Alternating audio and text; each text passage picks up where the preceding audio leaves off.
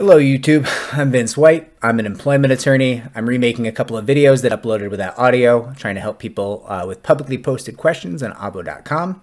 We have a question here from Chicago, Illinois. I'm I'm out on administrative paid leave for investigation, but I got a really good job offer. Should I accept this new offer and resign? Question goes on.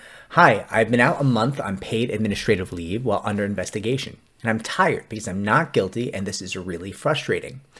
I got a job offer and it is a really good opportunity for my career. And honestly, I don't want to be back in the office because I'm I've really been falsely accused of theft. I'm fully cooperative if they need something or ask me something in the future, but I can't say no to this offer. Basically, I didn't get an attorney yet because I wanted to respect the order not to talk to anyone about this.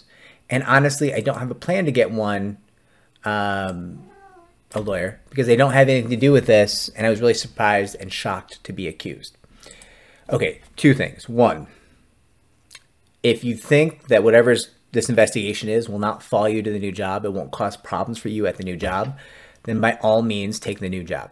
Right? I mean, listen, it's if it's great for your career, then awesome, congratulations. I just don't want to see it be a situation where somebody's calling up your new employer being like, oh, blah, blah, blah, so and so robbed us, like, and causing problems for you right?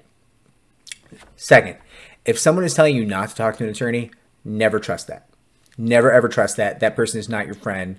You can always talk to an attorney. It's confidential to talk to an attorney.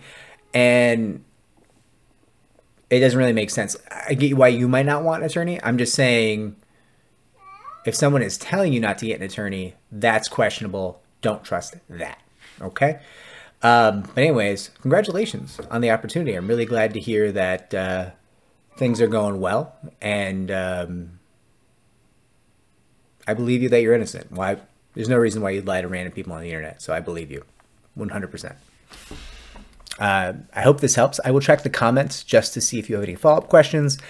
And if it was helpful, consider liking and subscribing. It does help me to help more people just like you.